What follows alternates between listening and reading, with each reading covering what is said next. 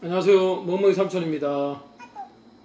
그 오늘 정배우 그 영상에 기사가 올라왔어요.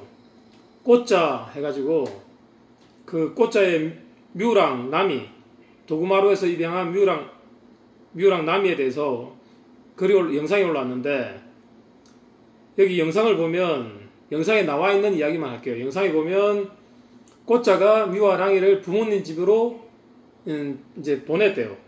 부모님 집으로 보냈는데 부모님이 꽃자한테 이야기를 하지 않고 이걸 도구마루 잠실 본점으로 부모님께서 다시 돌려줬대요. 이거에. 그리고 그 강아지들은 도구마루에서 다시 분양글을 올렸다고 합니다. 그 분양글을 보고 이제 댓글을 막 다니까 구독자들이 꽃자가 전화를 해서 내 개인데 왜 내 허락도 받지 않고 개를 분양하냐 부모님과 동의가 된 게 아니다 라고 해서 뮤- 뮤랑 나미를 지점장님이 도로 꽃자한테 데려다 줬다고 합니다. 근데 이건 뭐 정확하게 알 수 없어요. 진짜 부모님한테 잘 키워달라고 부탁하고 맡겼는데 꽃자하고 상의하지 않고 부모님이 도구마으로 돌려준 건지 환불을 요구한 건지 뭐 상의가 된 건지는 알 수 없지만 뭐 알 수 없는 걸 어욕이라고 하는 것도 이렇게 맞지 않은 것 같고요. 제가 오늘 말씀드릴 건 책임질 수 있는 만큼만 입양을 해야 된다는 겁니다. 다 책임질 수 없는데 좁은 공간에 많은 개를 입양하고 많은 고양이를 입양- 입양한다는 건 그 주인한테도 스트레스고 그 동물들한테도 굉장히 큰 스트레스예요. 그리고 지인들한테 개를 맡겼다고 하는 건 사긴 샀는데 책임을 못 지니까 자꾸 맡기는 거잖아요. 근데 또 사고 또 이걸 맡기고 또 사고 이게 이것도 하나의 병이거든요. 일종의 이것도 병이라고요. 그리고 이걸 강아지를 이렇게 절친한테 나눔을 한다든가 분양을 하잖아요. 그러면 이게 굉장히 더 친해지고 가까워질 수 있는 기회가 되기도 합니다. 그렇지만 강아지를 입양할 때는 많은 준비 과정이 필요하잖아요. 준비된 입양이 꼭 필요하단 말이에요. 근데 갑작스럽게 선물하면 그게 원치 않는 입양이 될 수도 있다고요. 그러면 서로에게 불편함과 불행을 초래할 수도 있거든요. 그것 때문에 다툼이 생기기도 하고요. 그래서 개를 고양이를 책임질 수 없는데 계속 입양하는 것도 문제고 이걸 또 남한테 주는 것도 무료로 준다고 해야 되게 문제라고요.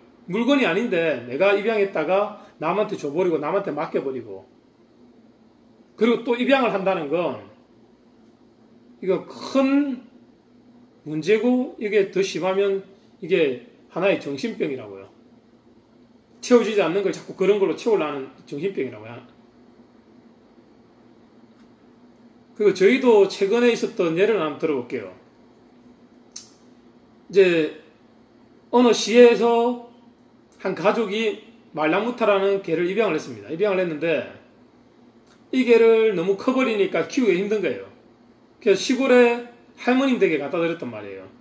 근데 그 할머니가 할아버지랑 키우다가 이 털도 빠지고 식당에서 너무 이게 키우기 힘든 거예요. 그래서 이웃의 다른 할아버지 집에 조금 이렇게 산이 있고 환경이 좀 좋은데 보냈다고 그래요. 개를 키워달라. 그래서 그 할아버지가 알겠다 이렇게 하고 키워, 키워준다고 했는데 뭐 돈을 주고 받은 건 없다고 하대요. 근데 그 애가 난리가 난 거예요. 할머니, 할아버지하고 개를 보러 왔는데 개가 없으니까 아 다른 집에 줬다 이거예요.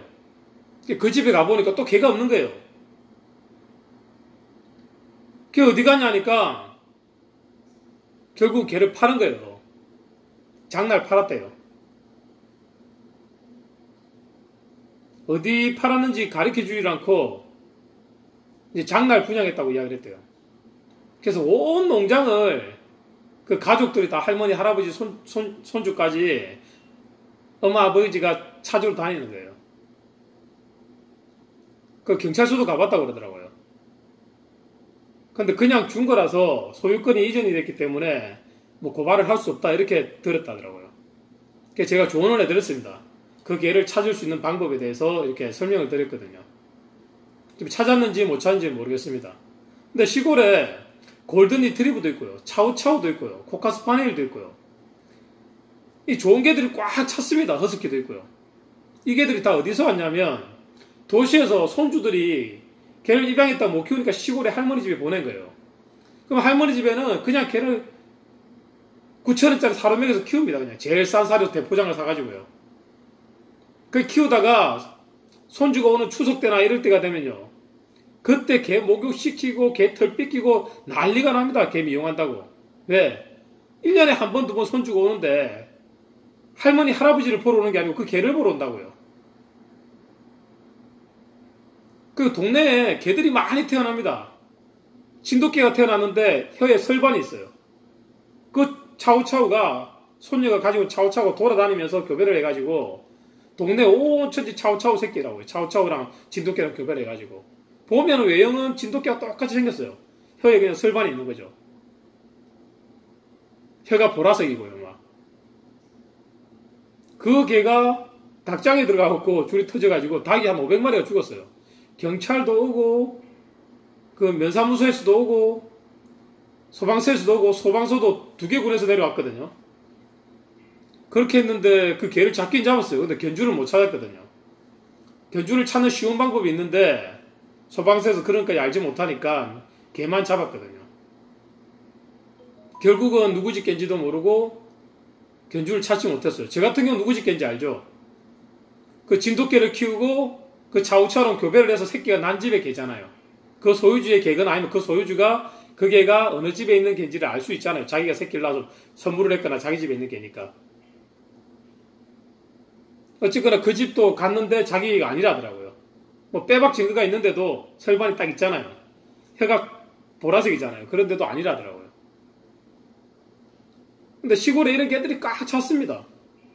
그러다가 보면 또 할머니들 계속 키우는 경우도 있고 아니면 풀어놔버리는 경우도 있어요. 그냥 밖에 돌아다니면서 그냥 집에 왔다가 나갔다가 들깨처럼 집에서 그냥 애시중지 손녀가 또 올 때 볼 거니까 애시중지 키우는 분이 있고요.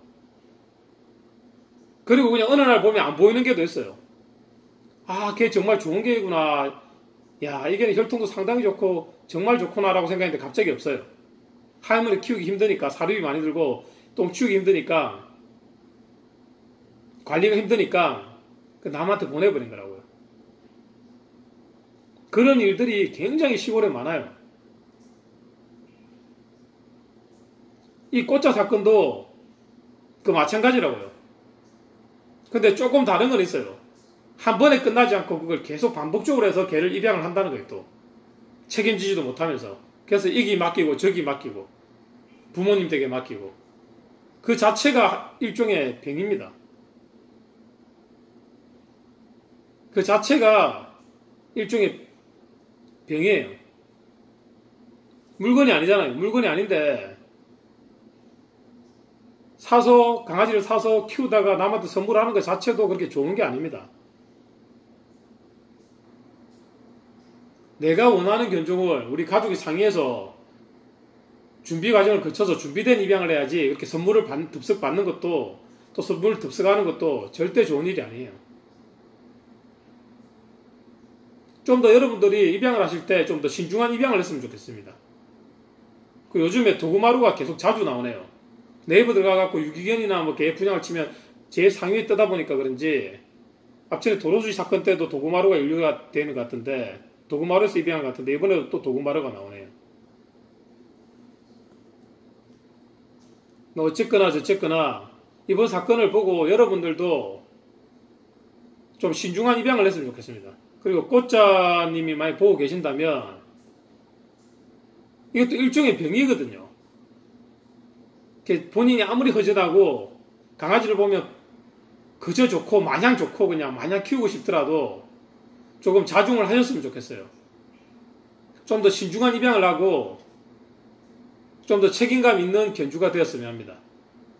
그리고 제가 유기견이라든지 애견 농장에도 너무 사육 두수가 많으면 힘들다는 영상을 자꾸 올리잖아요.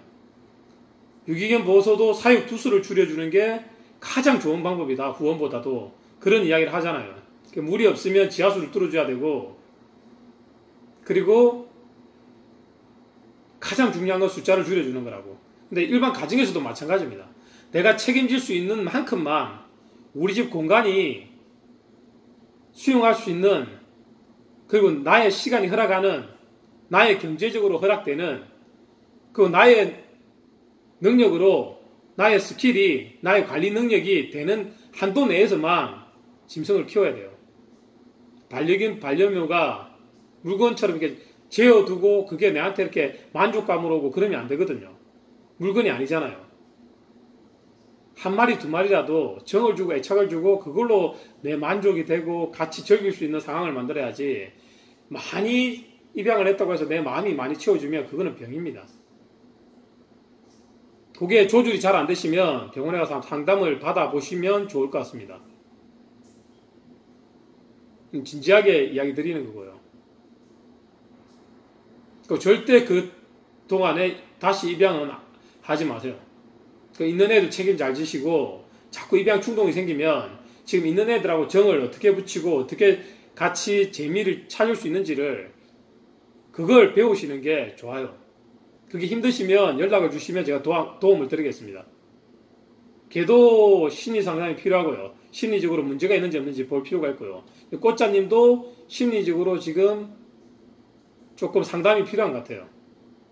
주위에 뭐 전문가를 찾아가셔서 뭐 정신과나 이런 데 찾아가셔서 상담을 받아봐도 좋을 것 같고요.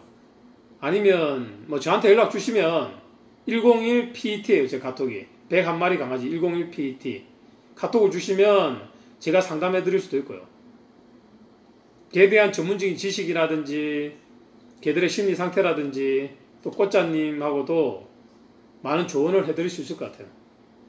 제 역시도 개빠였고 그리고 개빠면서 개를 좋아하면서 공부를 해서 전문 전문가가 된 거고 그런 과정을 다 거쳤기 때문에 꽃자님처럼 꽃자님을 잘 이해할 수가 있고 또 잘 조언을 드릴 수가 있을 것 같거든요. 그래서 좀 키우는 애들하고 또 행복을 누릴 수 있는 방법을 찾으셔야지 많이 데려왔다고 해서 내가 많이 만, 만족감이 생기고 이러면 그거는 병입니다. 여기까지 하고 인사드리겠습니다. 꽃자님은 제 동영상을 보시면 연락 한번 주세요. 마음이 좀 이렇게 허전하고 외롭고 힘들 때 그럴 때일수록 뭐 입양 충동이 생기고 그럴 수 있잖아요. 근데 그렇게 채우면 안 돼요. 있는 애들하고 즐길 수 있는 스포츠라든지 교육이라든지 이런 쪽으로 개발을 하셔야지 마음을 시키고 달래고 위로를 하셔야지 많이 사와서 숫자로 채워서 안정을 느끼는 건 그거는 큰일 납니다. 개들도 불행하고 나도 불행해지는 거예요. 절대 그 우울증이나 그런 데서 빠져나올 수가 없고 그리고 공허함에서 빠져나올 수가 없습니다. 그 방법으로는. 여기까지 하고 인사드리겠습니다. 안녕.